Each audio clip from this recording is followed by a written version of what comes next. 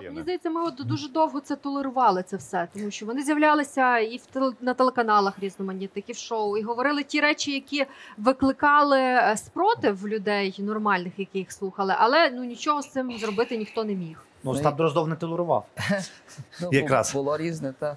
Нашій Всіх студії не не толерували здебільшого. Да. Було різне. Дивіться. Сказав Остап Дроздов про 30 років існування цієї держави. Так. Так, тому власне так. Е, Дивіться, ну взагалі тема колаборації це е, для мене якась е, ну просто фатальна тема, тому що мені здається, що це є та тема трактування колабораціонізму під час війни, наголошую. Вона мені здається належить до теми до тем таких злегка злитих. І мені е, мене зразу різануло це формулювання всіх тих рішеннях, про які там посилаються колеги, там призупинити, щось не призупинити. Значить, це війна закінчиться. Тоді хай собі відновлюють діяльність і хай накличуть ще 10 воїн на нашу землю. Ну тобто, мені здається, що от коли як не зараз, От це і є той історичний момент, коли е, ну нема варіантів вже е, бавитися.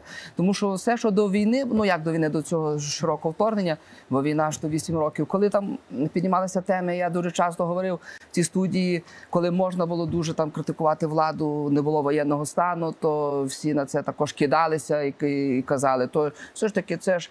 Різні політичні погляди, треба мати повагу до іншої точки зору, ту-ту-ту, і вони вічно ховалися за правом е, декларованим, там не цитували купу декларацій про прав людини на, на свою політичну позицію і так далі. так далі. Ще свободу слова сюди завжди приплітали ці холдинги Медведчука. І це завжди ховалося за тими ширмами про те, що треба мати так звану іншу точку зору. А виявилося, що інша точка зору це є точка зору твого убивці.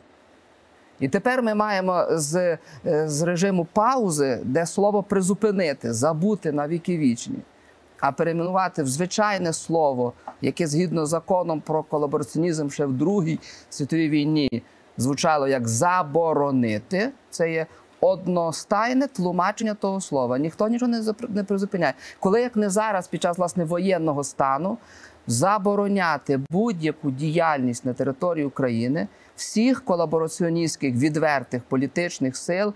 Оформлених і медійні холдинги, бо це інформаційні війська, і інші інші, і, і, і забути е, якби цю тему і ці дискусії. Тому що я оцей закон про колабораціонізм, який, до речі, мені здається, е, вже більше року здається в парламенті лежить.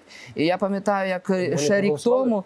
Е, Там він, він, він там поправки, він лежить. І я пам'ятаю, як дуже надували щоки там і парламентська більшість, яка каже, от які ми молодці, які ми от ми там як і що. І цей закон десь собі вже рік. А всього навсього треба.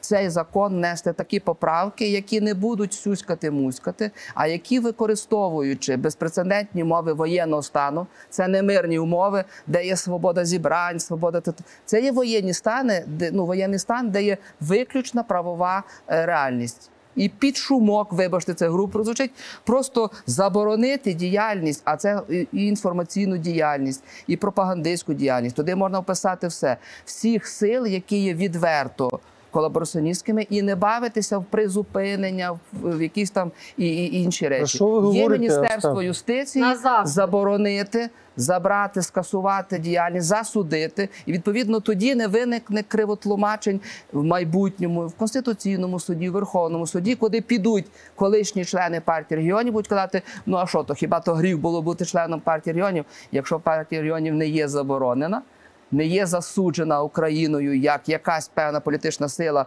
там назвіть його не знаю, там терористичного характеру, чи антиукраїнського, чи підривного проти е, державності і так далі. Тоді мені здається, все стане на свої місця, і, і, і, не, і не будемо говорити про це, а просто буде діяти регламент, закон. Який просто буде діяти, і все, і, і до побачення. Ну бо тому я повторю, а коли як не зараз?